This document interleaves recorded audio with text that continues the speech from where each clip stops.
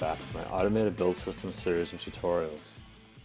In part one of this series, we use the Azure Web Interface to set up a Linux VM in Azure, then we install Docker on that VM and set up secure communication to the remote Docker host. In this video, we will do the same thing, but through the Azure command line interface. I'm calling this part 1.5 since this is just another way to accomplish what we did in part 1. If you're happy using the Azure portal, then you can skip right to part 2. Note that in this series, I assume you're on a computer similar to mine, a MacBook running Mac OS. It's certainly not a requirement to do this stuff though. You could be on a Linux or Windows client, no problem, though some of the client-side tooling changes around a bit. I'm confident that you'll figure it out. So you can install the Azure CLI locally, or if you run Docker locally, and if you're following along with this tutorial, I suspect that you do, you can run Azure CLI in a Docker container. That's my favorite way to do it since you don't have to install anything on your local machine. So let's pop over into terminal window and just show you that this works. Very simple. I already have an image installed, so this will be quick. And you are to Azure CLI. All right, for this tutorial, we are going to create a folder uh, to hold all of our config settings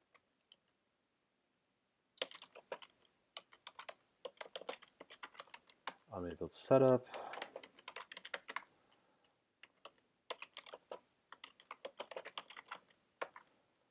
Uh, folder to hold our keys and one to hold our certificates. And let's generate our SSH keys so we can SSH into our VM once we create it. Putting those into the keys folder we just created. Very good. Next, we want to start up the Azure CLI Docker container, and we also want to link it to our current directory so that uh, we can get to these certificates and keys from within our container. So let's do that.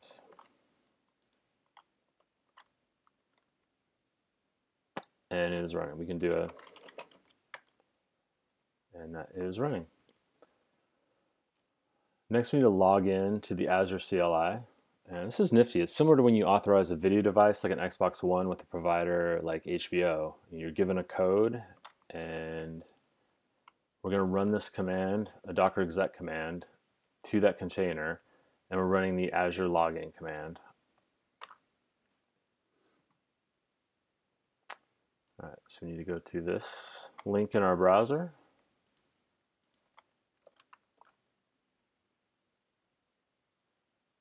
We need to enter this code.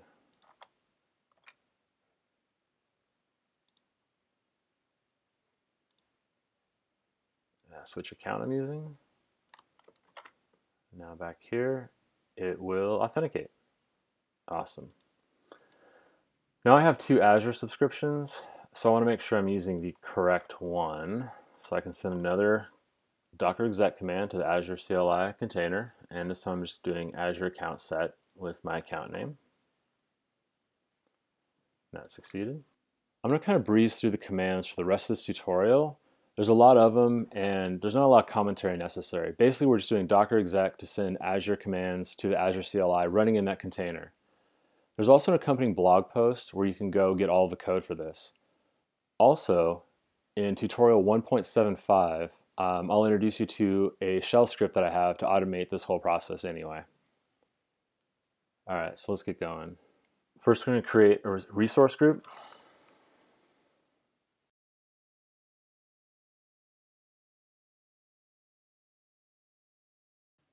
Then a VNet.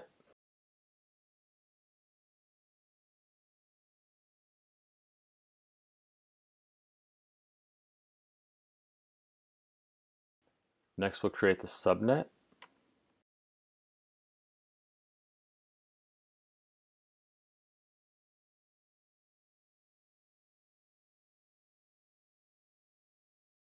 Next, we'll create the IP address.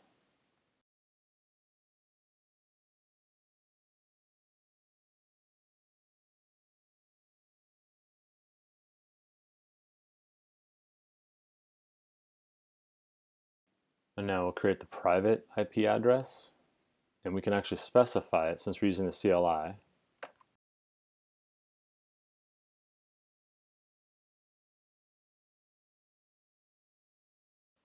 Now we'll create the network security group.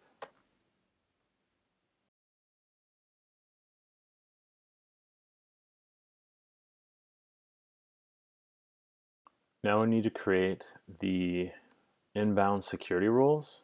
We're going to open port 22 first for SSH communication.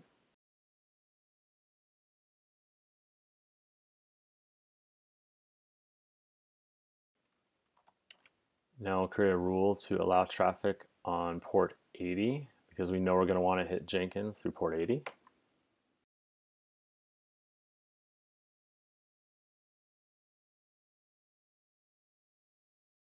Now we're going to allow communication on port 2376 for secure Docker host communication.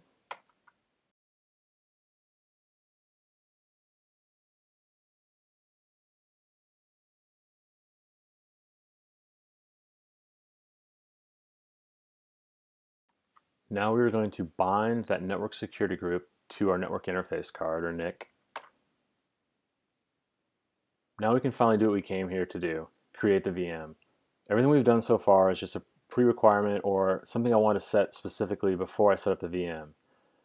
You'll notice here I'm also linking to the public key file that we linked to our Docker container at the config folder.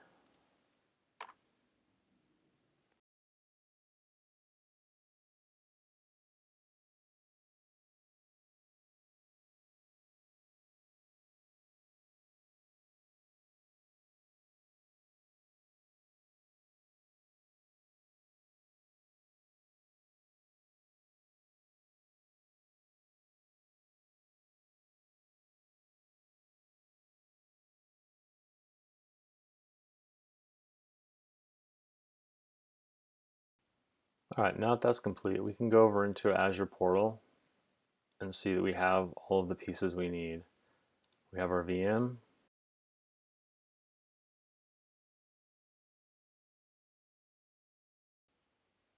Just like we did when we provisioned it from the portal.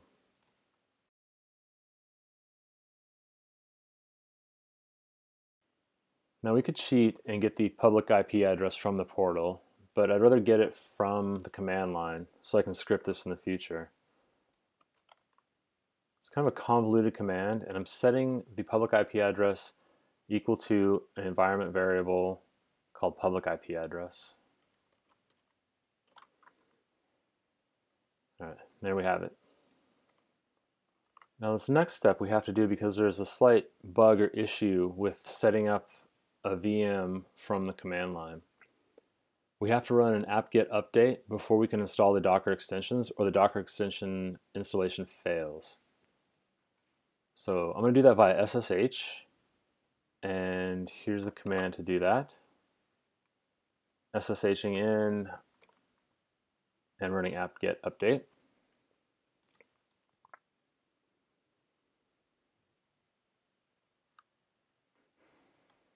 Now I'm also going to pop over to my domain DNS provider really quick and pop this public IP address in here.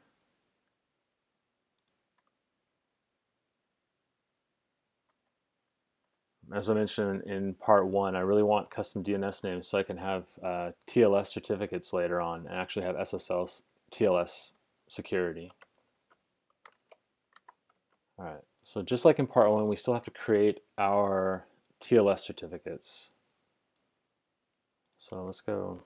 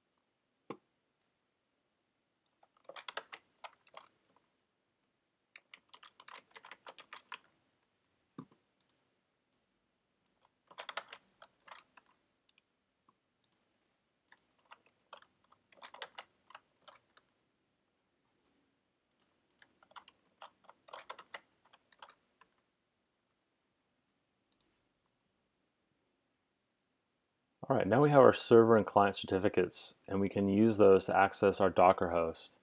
If you need more explanation about what we were doing there, you can look at part one, the video and the blog post. I explain a little bit more there. Now to transfer these to Azure, we need to get them in base 64. So let's do that real quick.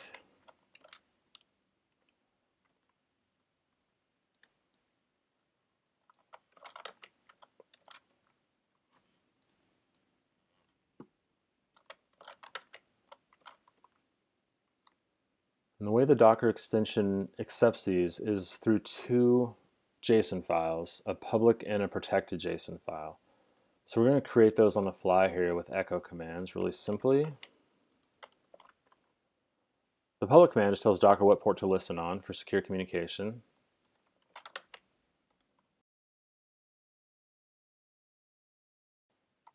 The protected JSON actually has the contents of those base64 encoded certificates and keys. So if you were to cat that, it would show the keys.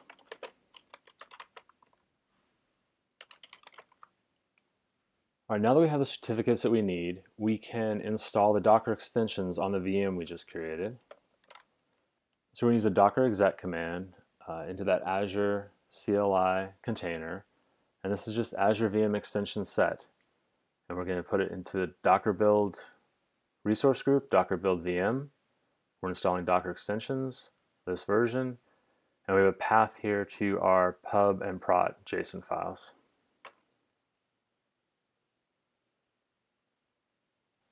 All right, it's installing the extensions.